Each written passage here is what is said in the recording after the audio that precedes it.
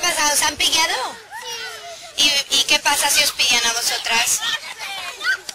¿Por qué los demás sí pueden seguir jugando y vosotras no?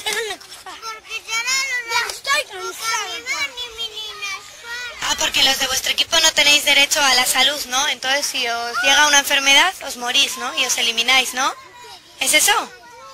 Ah.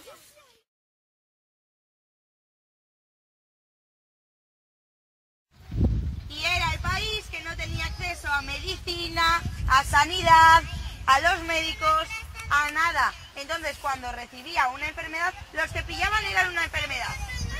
Entonces daban a una de las personas y al ser del equipo A, Adrián, día de salvarse. Tenéis que esperar a que llegue alguien, es el siguiente menos desarrollado, el del medio. Porque tenéis que esperar a que llegue una persona a salvaros. Bien puede ser el médico, lo que tarden en llegar las- los medicamentos, ¿vale? Esos tardan un poquito más y puedes estar enfermo y tener que esperar mucho.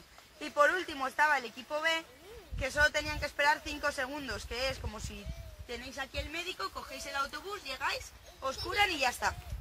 Que es el medio más rápido, ¿vale? ¿Lo habéis entendido y habéis visto bien las diferencias? Vosotros en la vida real, ¿cuál seríais?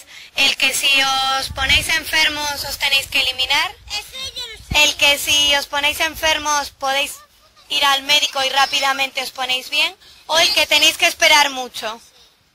El que no podemos esperar mucho. El, medio. que va ir rápido, ¿no? El B. Muy bien.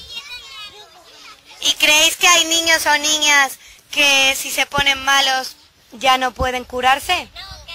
¿Creéis que en otros países hay niños así?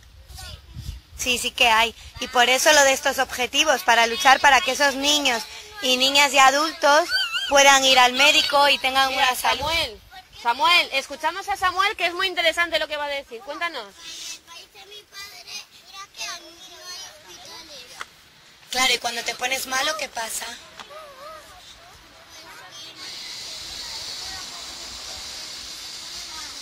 Claro.